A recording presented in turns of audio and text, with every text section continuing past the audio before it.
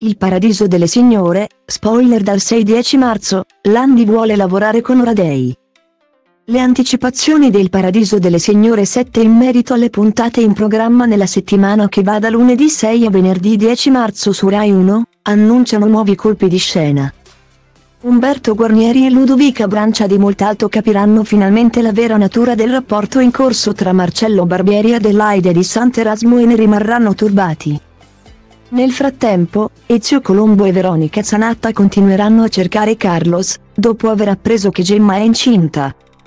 Matilde sarà indecisa se rivelare oppure no ad Adelaide e a Vittorio i piani segreti di Tancredi di Sant'Erasmo. Inoltre la stessa Frigerio andrà su tutte le furie per un articolo pubblicato nel nuovo numero del Paradiso Market. Dopo la notizia della gravidanza di Gemma, Ezio e Veronica tenteranno in tutti i modi di contattare Carlos, ma ogni tentativo risulterà vano. Matilde, intanto, sarà alle prese con una battaglia interiore, rivelare oppure no ad Adelaide i piani segreti di Tancredi. Inoltre quando scoprirà che nel nuovo numero del Paradiso Market verrà pubblicato l'articolo di Diletta D'Ambrosio. La signora Frigerio sarà molto contrariata. Intanto tale articolo scandalizzerà anche diversi lettori e la cosa indispettirà anche la contessa di Sant'Erasmo. Che esprimerà tutto il suo disappunto durante una discussione con Vittorio Conti. Secondo lei il direttore del Paradiso delle Signore non è più capace di mandare avanti il reparto giornalistico della boutique milanese. Nel frattempo, Irene e Alfredo si vivranno la loro storia d'amore, ma la donna obbligherà Perico a non dire a nessuno della loro relazione, per il momento. La commessa Cipriani preferirà vivere la sua liaison in segreto. Anche se ben presto Armando Ferraris inizierà a sospettare qualcosa.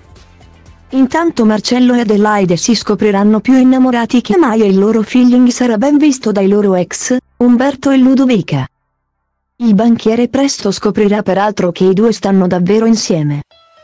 Elvira chiederà a Salvatore di aiutarla a prendere la patente, mentre Mario Radei confiderà a Roberto Landi uno dei suoi più grandi sogni nel cassetto, aprire un locale tutto suo e il pubblicitario Landi si metterà all'opera per aiutarlo. Il signor Ezio Colombo, nel frattempo, avrà un colloquio con la nonna di Carlos e Gemma avrà una brutta sensazione.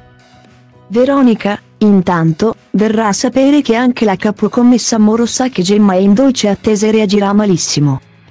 Ordinandole di non ficcare più il naso negli affari della sua famiglia. L'argomento più discusso dalle Veneri sarà intanto il rapporto tra Salvatore ed Elvira. Secondo le dipendenti del Paradiso delle Signore, il giovane barista amato sta iniziando a provare qualcosa per la loro amica e collega. Mentre il signor Conti e Don Saverio saranno impegnati a placare gli animi indignati di alcuni manifestanti dopo l'articolo uscito sul magazine del negozio. A Matilde verrà una brillante idea su come aiutarli. Roberto, intanto, proporrà a Mario di aprire insieme il nuovo locale che ha in mente. Ben presto Ludovica troverà Marcello e Adelaide in intimità. Messa alle strette. La contessa di Sant'Erasmo ammetterà alla signorina Brancia che tra lei e il giovane Barbieri non c'è solo un rapporto di lavoro, ma anche d'amore. Matilde, intanto, cercherà di trovare le parole giuste per rivelare a Vittorio che cosa ha in mente Tancredi, ma non ci riuscirà non sopportando l'idea che Gemma possa ritrovarsi a essere una ragazza madre, Ezio e Veronica avranno un'idea molto sofferta per la giovane Zanatta.